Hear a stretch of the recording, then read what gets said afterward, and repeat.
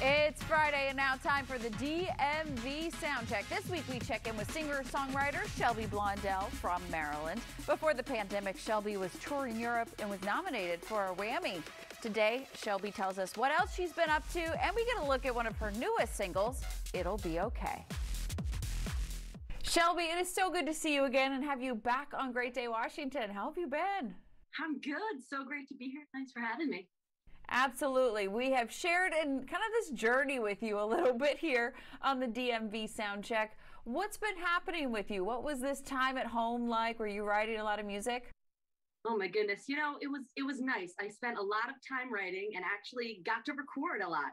Actually recorded an outdoor live album. Went to an outdoor space, set up a recording studio outside. We all um, got a video team to come out and we documented the whole thing. Um, so spent a lot of time writing, which was really nice to kind of get creative again. Where do you find the inspiration for some of your music? You know, I, I call myself a songwriter singer. So for me, it's all about being able to share stories and share experiences and being able to tell stories about my life and hope that it can help to translate into someone else's life. You know, it might not be the same experiences that we go through, but to help to be that light to someone else, you know. Um, so through those experiences, those personal experiences. Maybe it's struggles, maybe it's joy, but to be able to share those messages and to help to bring hope and joy and light to other people. Now, what's great is you have been back out in the public, in the public eye, you know, performing. You were up in my neck of the woods not too long ago. But what has it been like to get back out there and see the crowds?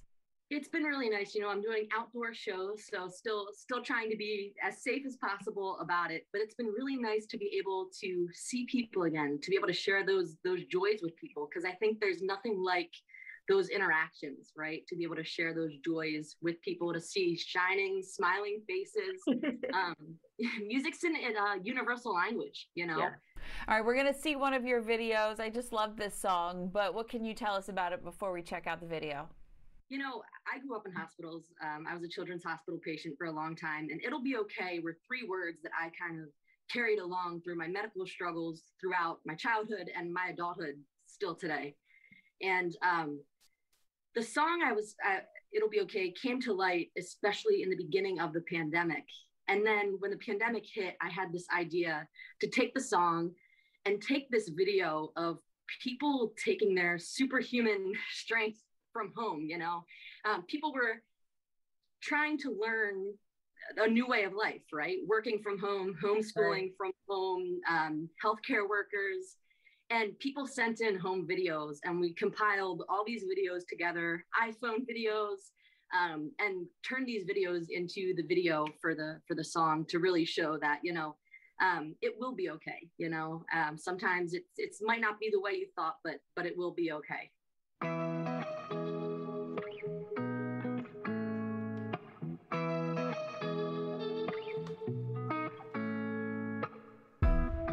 my wings get too heavy to fly. And the road that's traveled on is easier to say goodbye. That's when I feel you in my veins like a wildfire. I see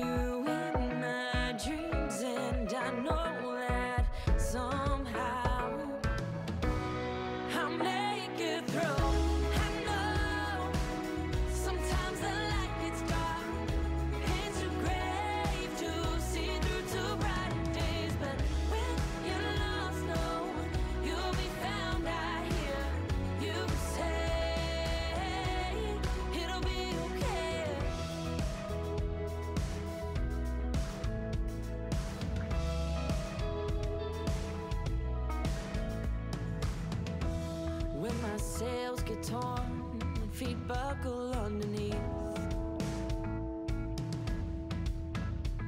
When my mind can't